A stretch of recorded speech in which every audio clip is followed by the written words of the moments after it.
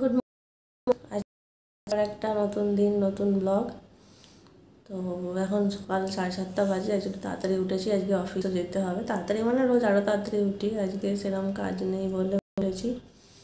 আজকে অফিসে যাব লাঞ্চ রান্না করব না ক্যান্টিন থেকে নিয়ে নেব। সপ্তাহে একদিন করে যাচ্ছি স্যালারির তো কোনো ঠিক ঠিকানা নেই।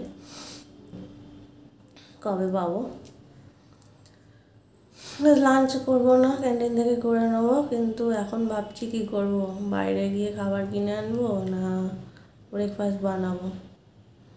এই ভাবছি খিদে পেয়ে গেছে, দেখি কী করি। ব্রেকফাস্ট ভাবছি বানালে চাউমিন বানাবো।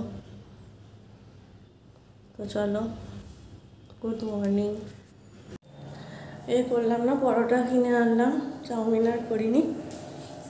পরোটা কিনে এনেছি, পরোটা আর ঘুগনি। হাজার রান্না করব না। ছুটি রান্না করতে হবে না বাসনও মাজতে হবে না। কোনো কাজ নেই। শুধু একটু জল ভরবো আর ঘরটা মুছবো ঝাড় দিয়ে। তারপর বেরিয়ে যাব চান করে। আর ক্যান্টিন থেকে লাঞ্চ করানো দেখো পরোটাটা দেখাচ্ছি তোমাদের। এই যে পরোটা আর এই যে ঘুগনি। অনেকটাই ঘুগনি দিয়েছি তিনটে পরোটা এনেছি। চলো খেয়ে নিই মোস্ট জঘন্য ঘুগনি ছিল। আমার জীবনে সব থেকে খারাপ খাবার। পরোটাটাও জঘন্য ছিল আর ঘুগনিটা এত বিচ্ছিরি, কোনো টেস্টই নেই। একদম জঘন্য, সেদ্ধর থেকেও বিচ্ছিরি। আর কোনোদিনও খাব না। কাছে লেবু দিয়ে খেলাম। লেবু তাও ভালো লাগছে না খেতে। যাই হোক, জল ভরে নিই।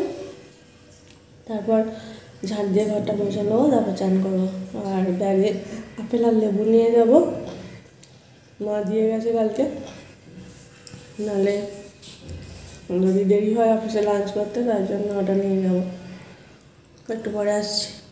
স্নান হয়ে গেছে, ঘর মুছে স্নান করে নিয়েছি। এখানে কি তো বেরিয়েছে? কুড়ি কুড়ি ময়েশ্চারাইজার লাগাবো কিনা ভাবছি, মুখে। কাশি আর সারছে না।